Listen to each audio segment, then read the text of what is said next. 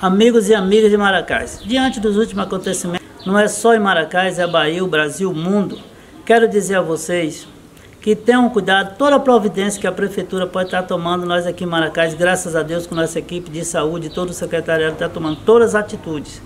Pode ter certeza disso que nós estamos cuidando disso aí, com muito carinho, com muito cuidado, para que não venha sofrer essa epidemia em Maracás. Quero dizer a vocês que hoje nós já vamos começar a higienizar todas as, a feira livre, todas as praças que tiver grande aglomeração de gente, para deixar tudo bonitinho, tudo limpinho, para nós cuidarmos disso aí. E pedir a vocês mais um empenho, todo maracaense que empenhe nisso aí, nessa luta. Não é fácil, mas nós vamos vencer se Deus quiser. E pedir a todos esse apoio, que nós precisamos desse apoio de toda a sociedade de Maracás.